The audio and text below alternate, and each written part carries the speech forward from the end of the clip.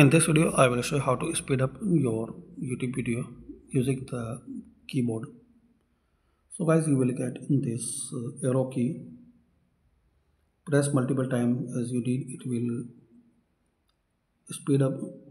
I mean, it's forward 5 second and it will skip 5 second. Similarly, if you want to see the back, so left arrow like this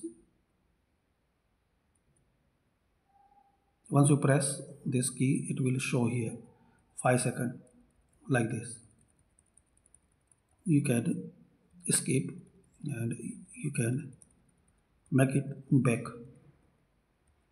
So it will appear like 5 second. Now I will show you both.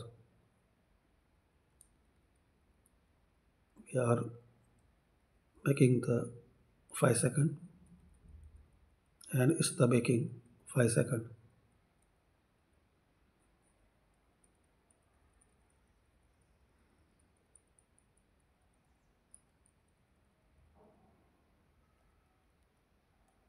So thanks for watching guys. Comment this video useful for you.